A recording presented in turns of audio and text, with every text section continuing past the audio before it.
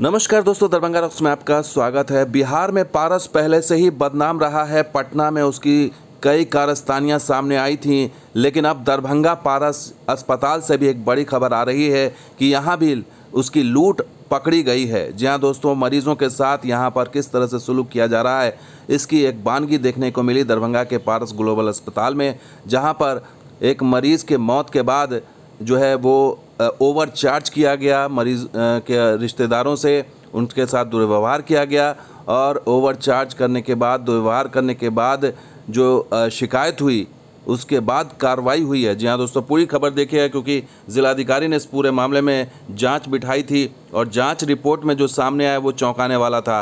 पारस अस्पताल की चोरी पकड़ी गई कि किस तरह से वो मरीजों के का गलत इलाज कर रहा था और किस तरह से उसकी मौत के बाद ओवर चार्ज करके ज़्यादा पैसे जो है वो मांगने को मजबूर कर रहा था और उसके बगैर शव नहीं दे रहा था। देखिए, ये खबर पूरी समझ लीजिए 21 मई को पारस अस्पताल में दिलीप अजीत नाम के एक मरीज़ को भर्ती कराया गया, जो नौ दिनों तक उसका इलाज वहाँ पर हुआ और उन नौ दिनों के इलाज के बाद उसकी मौत हो गई।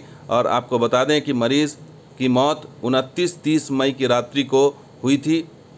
लेकिन अधिक राशि वसूले जाने के को लेकर के परिवा, परिवाद पत्र दायर किया गया, यानी शिकायत पत्र दायर किया गया सीधे जिलाधिकारी को। और जिलाधिकारी ने इस मामले में जाँच बिठाई, तीन सदस्यीय जाँच बिठाई तो पता चला कि इसके पीछे क्या खेल था। किस तरह से यहाँ पर गलत इलाज से उसकी मौत हुई। जहाँ दोस्तों, बड़ी चीज़ ये सामने आई कि ओवरचार्ज तो बात की चीज़ है। गलत इलाज से मौत हुई और वो जाँच रिपोर्ट में कैसे सामने आया वो देखिए। इलाज कोविड 19 के दिशा निर्देशों के अनुसार नहीं किया गया। अत्यधिक अनावश्यक दवाएँ मरीज़ को दी गई। ये चौंकाने वाली बातें सामने आ रही हैं। आप बताइए कैसे इलाज ही ढंग से नहीं किया गया। आपको बता दें कि यह बिल जो बनाया गया, पहले दो लाख सत्तानवे हज़ार सौ रुपये का बिल बनाया गया। उसका अंतिम बिल जो बना, वो दो लाख तीस हज़ार पाँच सौ रुपये का बना। तो पहले तो मरीज़ को गलत इलाज दिया गया, कोविड टेस्ट नहीं कराया गया।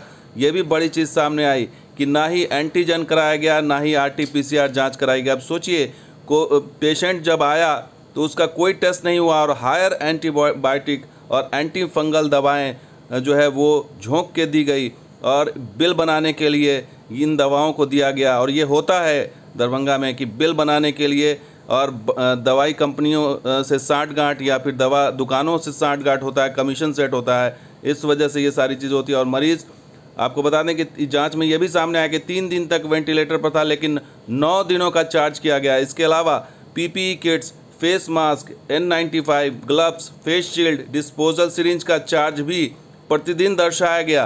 तो ये सब चार्ज मिला करके इन लोगों ने ढाई लाख, तीन लाख रुपए का बिल बना दिया।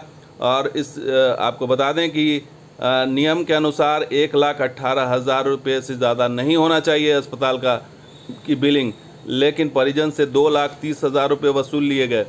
ये बताता है कि किस तरह से प्राइवेट जो, ये जो पारस है या फिर और भी कई इस तरह के प्राइवेट अस्पताल हैं, वो किस तरह से मरीजों को लूट रहे हैं और जो लोग शिकायत करते हैं, उसके बाद ये कार्रवाई सामने आती है, उनका खेल उजागर होता है और जो लोग जो लोग अपना घर, द्वार, ज़मीन बेच के इलाज कराते हैं, चले जाते हैं, उनको देखने वाला कोई नहीं है।